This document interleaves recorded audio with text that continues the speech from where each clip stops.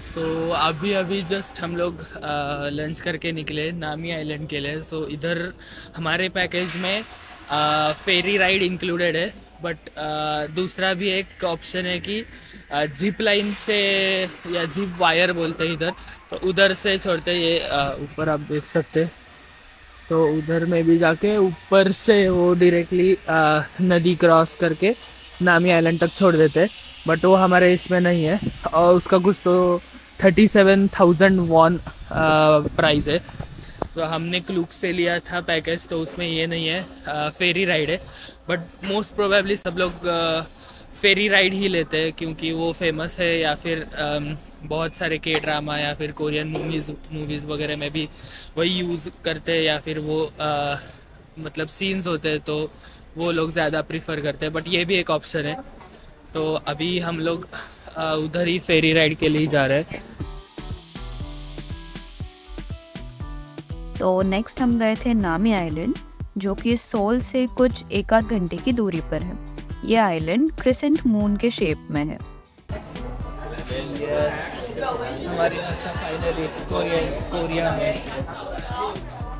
यहाँ आपको एक जेटी से जाना पड़ता है।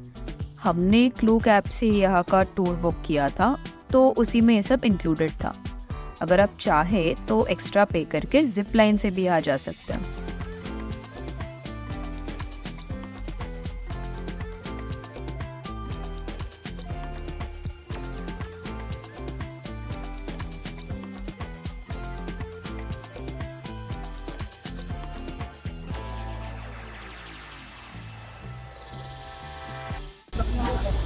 अभी नामी आइलैंड पे पहुँच गए। बस दस मिनट का ही फेरी था। ज़्यादा दूर नहीं था। ये नामी आइलैंड का एंट्रेंस और ज़्यादा भीड़ है आज।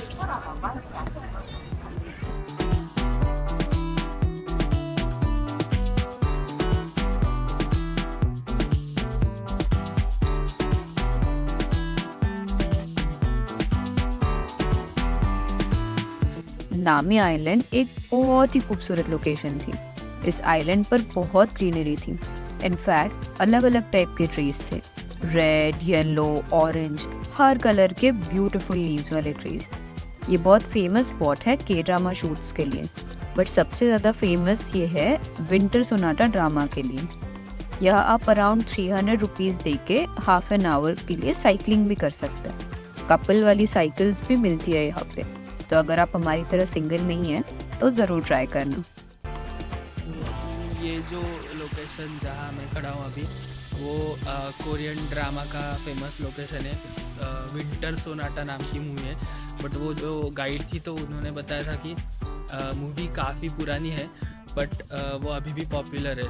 तो ये स्पॉट भी अभी मतलब जैसे पुरानी मूवीज़ का अभी भी शौक रहता है किसी किसी को तो वैसे ही यहाँ पे कोरियन का है कोरियन लोगों का तो वो इस मूवी के बस शूटिंग का स्पॉट देखने के लिए इधर बहुत भीड़ रहती है। बट पर स्पॉट भी मतलब यही है कि वो जहाँ से अभी वो तीन लड़कियाँ गई, वैसे ही वो साइकिल पे घूमते थे, लड़का लड़की वही उसी टाइप का सीन है। बट मे बी हाइप्ड या फिर आइलैंड पे है या ऐसे है तो मालूम नहीं। बट यही है, बाकी ऐसा कुछ खास नहीं है इधर।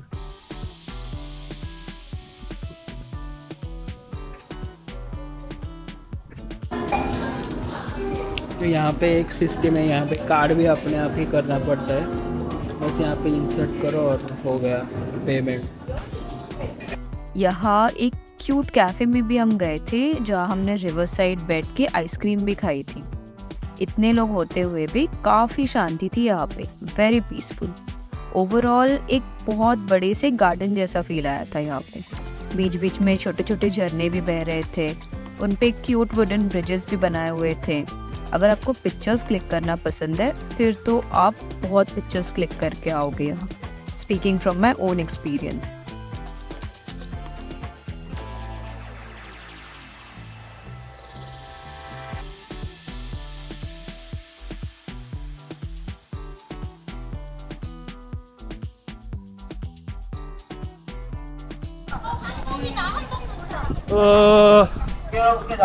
just भर गया पूरा। हाँ ठीक है वेट करना पड़ेगा अभी, दस दस मिनट शायद।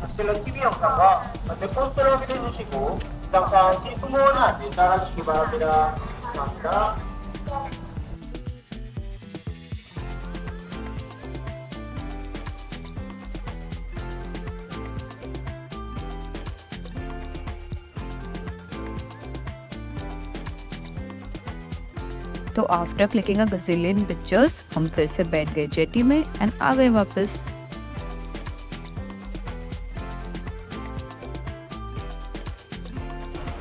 तो फाइनली हम लोग वापस आ गए। ये यहाँ पे बस पार्किंग है। सारे बस यहाँ पे रुकते हैं और वो पीछे से एंट्री है। Dot four forty sorry four twenty five को वापस आ गए अभी। बैक टू पिकअप पॉइंट जहाँ से लिया था। तो ऐसी थी इस पूरे दिन की टूर